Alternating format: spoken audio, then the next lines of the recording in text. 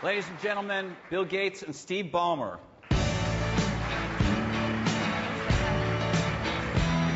Either of these.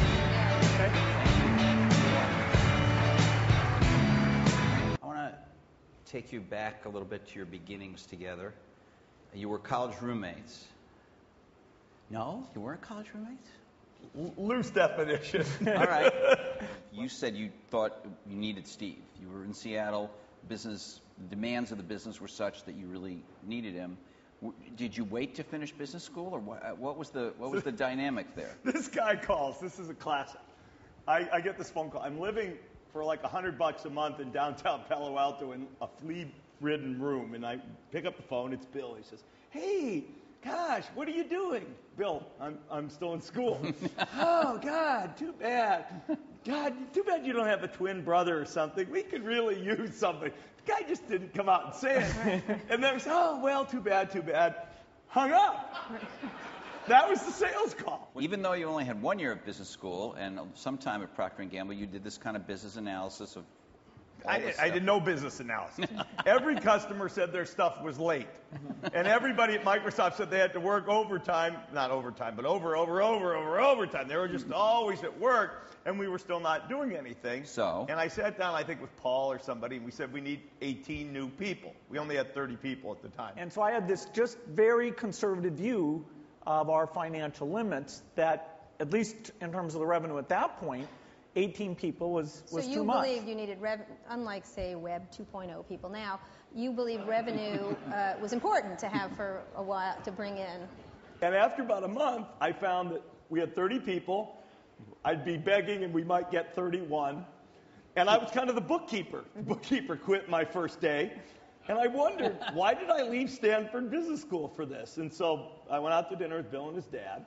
And Bill kind of gave me the real pitch, which was we could put a computer on every desk in every home. I, I you know, it might be at this stage a bit uh, apocryphal, but I claim Bill invented that that night to really paint the vision for me of what was possible. I needed Steve. I needed the skills he had, the energy he had. I needed a partner who we could, you know, commiserate and learn together about what kind of business this would be. And literally, after that one, you know, business discussion uh, that we did come up with a solution to, Which uh, we was? moved forward. What was the solution? Bill said, prove we can hire one good guy and we'll worry about two through 18. And that became our management approach for the next 20 years.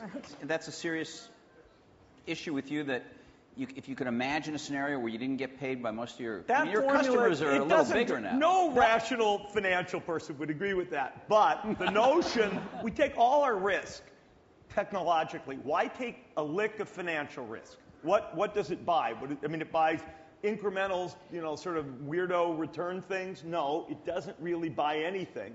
All of the leverage in our business is on new products with new revenue streams. So why take financial risk? So- But you, you guys have, have been doing this together for how many years now? 28? 20 what, years. What, And- what and- was the partnerships? What, what did you see in each other? What did you need from him that you couldn't get from any other business executive? You just happened to know someone who was in business school. Well, Steve is super smart, great at lots of things I'm not. But I think the key thing was doing it together. E- either of us individually could not have done it. Hiring great people. He went and hired the 18 people, but the good thing is the business, the income, always stayed ahead. So I never had to say to him, uh, hey, you've got to stop. I remember when we went moving into an office building, there was this nice stairway where I said to him, that's the stairway I'll walk down when I got to come tell you you've gotten ahead. But That's I never made that, that trip. And there's this um, public perception that you were the product or technology guy, you were the sales guy. Is that right, or was your uh, were the roles more diffuse than that, or, or how would you describe it? But there's a lot more to building a business than just technology and just sales. Right. There's picking people, there's the organization, the process, uh, the, the strategy. And Steve and I have done that, Together. that stuff together every step of the way. Thank you were involved in the first development team, is that correct? And also in the IBM talk? I ran the Wi- Windows 1.0 development team. What I mean, that I, mean? I have run software development projects. Can you, I am not an engineer. I have never written a line of production software. Never, never, you can't No. And how, Well, yeah, basically. I won't count six basic so, programs. So sometimes. Windows 1.0, h- how was Windows 1.0 a big seller? How do you feel about that? It was a red hot wall. It- you would have loved it. if you hadn't been writing about armaments, you would have loved Windows 1.0. That's No, you know, uh, actually, Windows 1.0 was good because we continued to invest in it. It was a foundation to go do something, and it took, you know, the way we like to. We keep after it and after it and after it. In a sense, you could say it met its goals, and you know, it's a little hard to look back now and say there was something wrong with the history. The history seems to have played out all right. yeah, you did- guys did all right. But would you call yourself a businessman? Would you, if you Sure, or a I mean, technologist? You know, sales minus costs equal profit. uh, I got that. no, I thank you so much. well, is there more? no, no, you're right. Kinda- We're going to get into the present in a second, but how do you look at that now that you're making this transition? It's been fantastic. You know, let me go off and do the product work I wanted to do. And there was a whole thing at the company that the scale was getting so big that the way I had run it, uh, in terms of just a few people knowing things, had really run out of gas probably a couple years before Steve took charge.